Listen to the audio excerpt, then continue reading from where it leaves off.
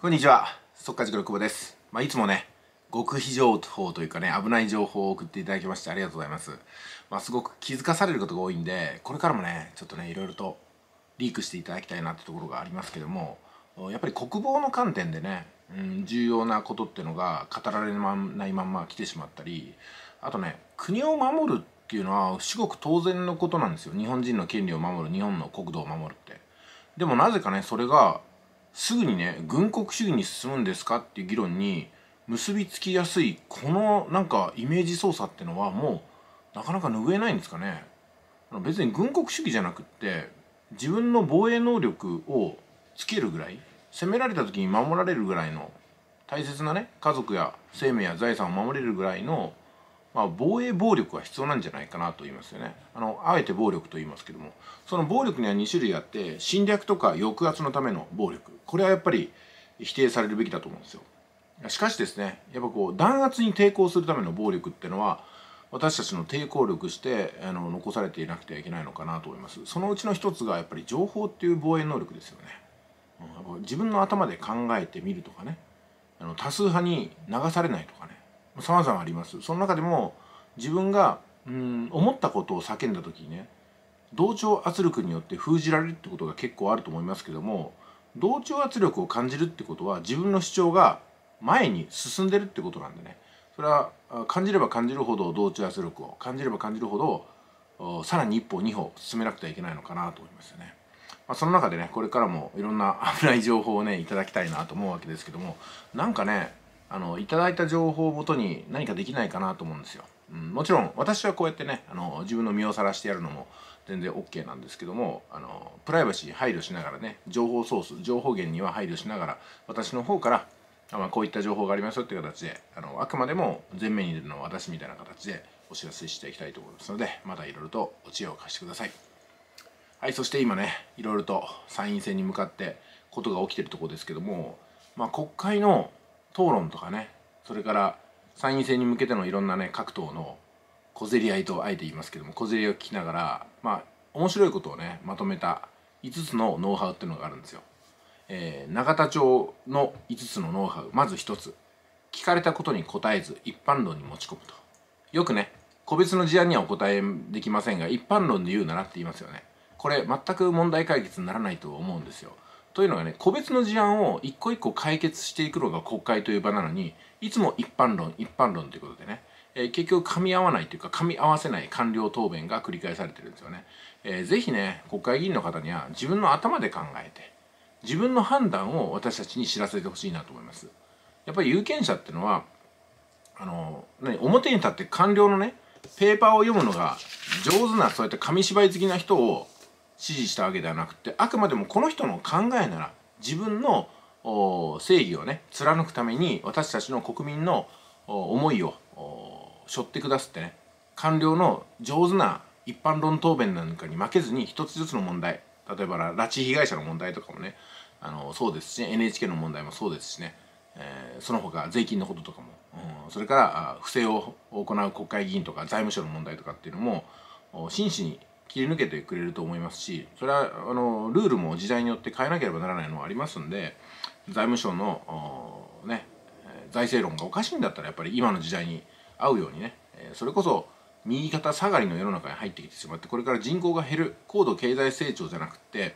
あの言ってみれば高度経済縮小が起きてる時代に何をすればいいのかそれはやっぱりバーチャルなコンテンツをどんどん販売していくことに、えー、まああの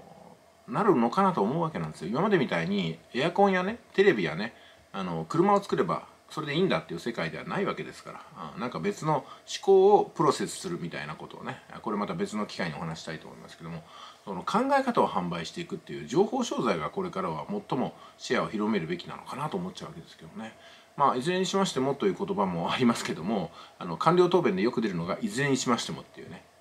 それまでの前提条件を全部ぶち壊して結局言いたいことを一つ言うのにいずれにしましてよっていうね いずれにしましてよっていう言葉を挟んじゃったりするわけですけどね、まあ、そういうのもねなんか国会見てて聞いててやらせないなと思いますね。でノウハウの2つ目。必要のない前置きをつけて話を限定するってなりますよね。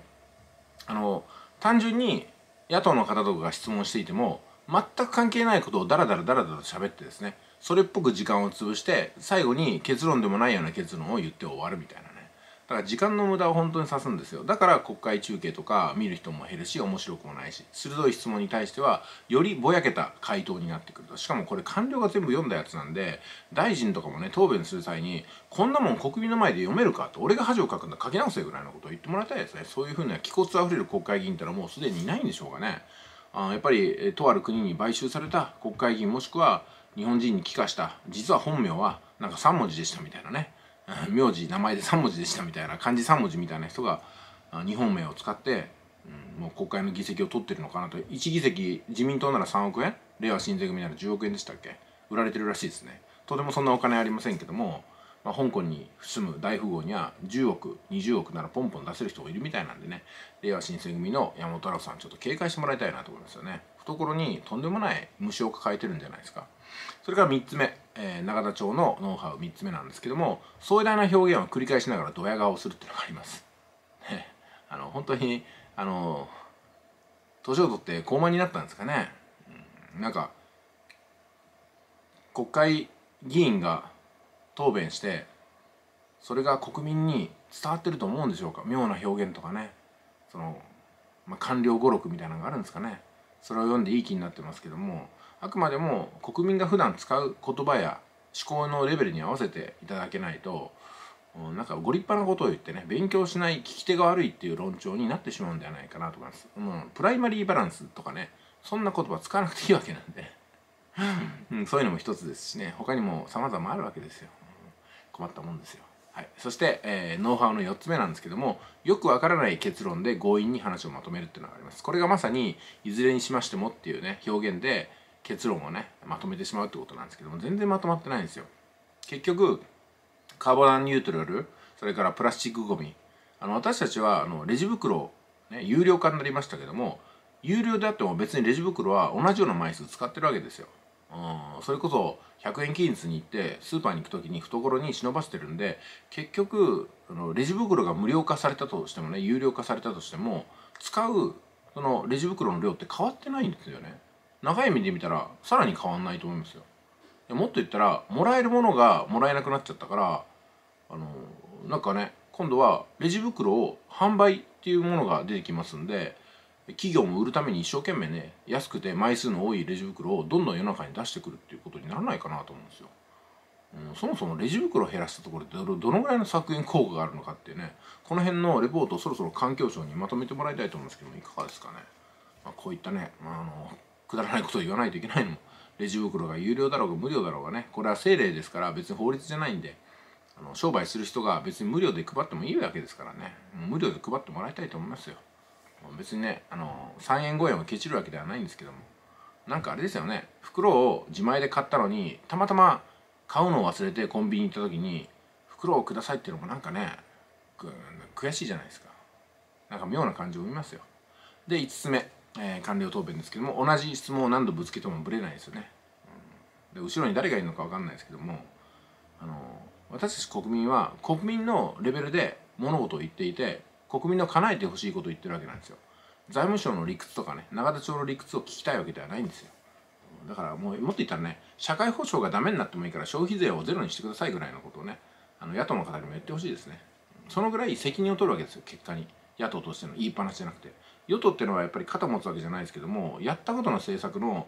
責任は取ってないけど 取ってないけどね取らないといけないって思うわけじゃないですか。そうなんだよね。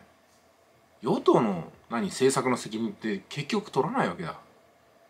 野党も与党も何やってるんでしょうね、まあ、今日はその辺ですね。また情報ください。ありがとうございます。